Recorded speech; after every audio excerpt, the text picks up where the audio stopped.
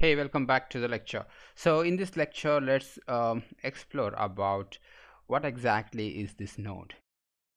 Now, the node arrangement will be like this. So you have a microcontroller, right? So this is a microcontroller. And in the microcontroller, what you have is a CAN controller, isn't it? Or CAN peripheral, CAN controller. And this CAN controller gives you two single-ended pins. So these are actually digital pins in order to communicate. Now the one is called as CAN TX so CAN TX and another one is called CAN RX this is for the reception of the data and this is to transmit the data. Okay so these are actually digital pins.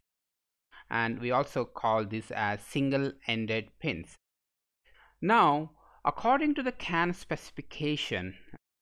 So you cannot use these digital signals in order to communicate with another node okay? So that is not allowed.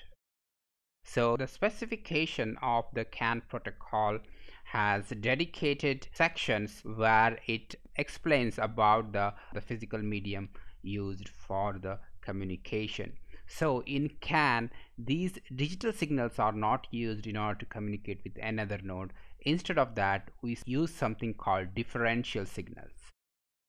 But your microcontroller will not produce differential signals. The differential signals are used in order to communicate with another node. That's because these digital signals are good for very short range communication uh, but since as I said CAN is introduced for automobiles where you have to cover larger distances like 1 meter 2 meter 3 meter or even some of the automation industry 40 meters etc in those cases you just can't use these digital signals or voltage levels in order to send data or receive data okay? The differential signals give more immunity to the noise and uh, data can be transmitted more reliably. So that's why there is a need to convert the single-ended signals to differential signals. And I will talk more about those differential signals in the next video. Don't worry about that. And in order to achieve that differential signals you need a transceiver a CAN transceiver okay? So that's why a CAN transceiver used after this CAN transceiver what it does is it actually takes single-ended signals and convert into differential signals. So that we call as CAN H and another one is CAN L. So CAN high and CAN low. And this is what we call as a node. Okay so this is a node so a CAN bus will be having basically two lines okay? CAN H line and CAN L line. And both lines are terminated by a termination register so that we call as RL and uh, we'll see more about that later. So if you want to attach your node to the bus you just have to connect CAN H terminal of your node to the CAN H line of the bus and CAN L terminal of your node to the CAN L line of the bus. Great so that's about a node. So that's how a node looks like. So you have a microcontroller and a microcontroller should be having CAN peripheral or we also call it as CAN controller.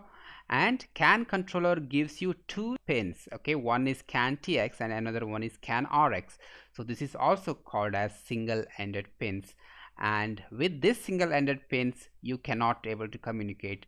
And we have to convert these single-ended pins to differential signals okay? And for that purpose we have to use CAN transceiver. And CAN transceiver gives you two outputs. One is CAN H and another one is CAN L. Those are differential signals and that you have to connect to the bus Remember that this CAN transceiver may not be available on your development board or microcontroller. For example, if you are using Nucleo or Discovery board from ST, then you have to buy this transceiver separately, remember. So on the board, these transceivers are not available.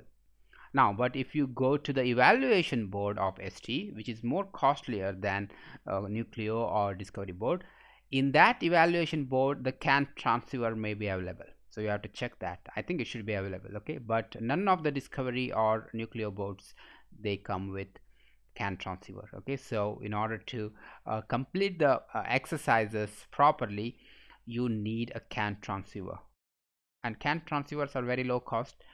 These are very cheap devices okay? Great. That's how a bus with multiple nodes look like. And at the end of the day you have to communicate over CAN H and CAN signals those are differential signals and we are going to understand more about these differential signals in the next lecture. So in the next lecture we will understand what exactly is this differential signal and and based on that we are going to discuss some of the most uh, frequently used terminologies in CAN such as recessive state and the dominant state of a bus. Great. So I'll see you in the next lecture